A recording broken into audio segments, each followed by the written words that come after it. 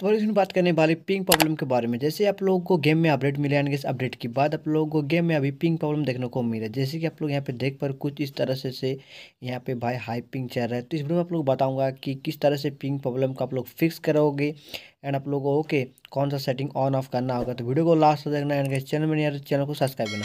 तो सबसे पहले तो आप लोग गेम को बैक करना है। गेम में जो सेटिंग होता है पिंग पिंग के ऊपर, उसके तो आप लोग ओके ऑन करके रखे हो। बट अभी आप लोग को फ़ोन का सेटिंग बताऊँगा। तो जैसे आप लोग सेटिंग में आओगे, यहाँ पे आप लोग को पहले तो सिम कार्ड के अंदर आना है।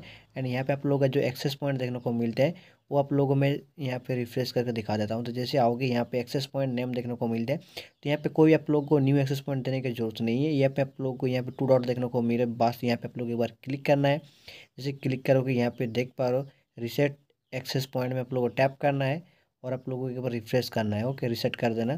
तो कोई भी प्रॉब्लम वगैरह है तो हट जाएगा। यहाँ पे देख पा रहे हो डिफ़ॉल्ट हो चुका है A P N setting and उसके बाद आप लोगों को और एक चीज़ करना है। यहाँ पे बैक आके आप लोग को सेटिंग में आके यहाँ पे सर्च करना है डी एन एस हर वीडियो में आप लोग ज़्यादातर डी एन एस के बारे में बताता हूँ बट बहुत सारे बंदे लोग क्या होता है कि उसको ऑफ़ कर देते तो भाई, अगर आप लोग गेम प्ले करते हो तो डी एन एस को ऑन रखना। तो यहाँ पे आप लोग आके मॉडिफाई में आपको, आप लोग सेम वही आप लोग को बताऊँगा कि D N S dot Google dot com ये आप लोग ओके इसको आप लोग यहाँ पे सेट करके रखना। मैं तो इसको ट्राई करता हूँ।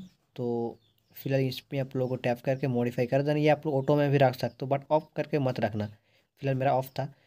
तो आप लोग ऑटो या ऐसे में आप लोग यहाँ पे मॉडिफाई कर देना। अभी हमारा जो लास्ट स्टेप है, आप लोग फ्री फायर में टैप करके रखना है और आप लोग को गेम में भी क्लियर कैच और गेम के बाहर भी आप लोग को डेली क्लियर कैच करना है। अगर आप लोग डेली करोगे, ना ही लेग प्रॉब्लम ना ही पिंग प्रॉब्लम देखने को मिलेगा, क्योंकि यहाँ पर कुछ एम बी ओके रह जाता है तो क्लियर कैच कर देना। उसके बाद हमारा जो लास्ट स्टेप है कि यहाँ पे फ्लाइंग मोड को एक बार ऑफ़ ऑन करके आप लोग दोबारा गेम को ओपन कर लेना। तो वो भी चीज़ कर लेते हैं फ्लाइंग मोड को एक बार ऑफ़ ऑन कर लेते हैं।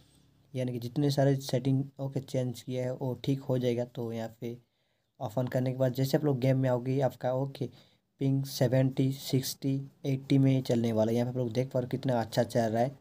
तो इस तरह से आप लोग को सेटिंग को चेंज करना हो और गेम में भी आप लोग को नेटवर्क ऑप्शन मिलता है, उसको ऑन रखना हमेशा।